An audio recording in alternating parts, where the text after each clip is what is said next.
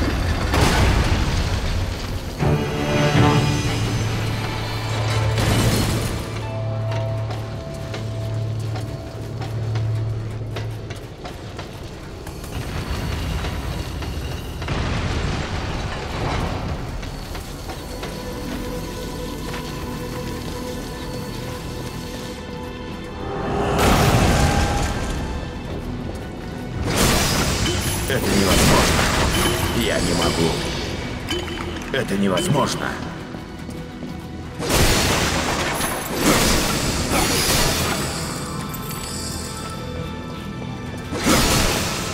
Я не могу.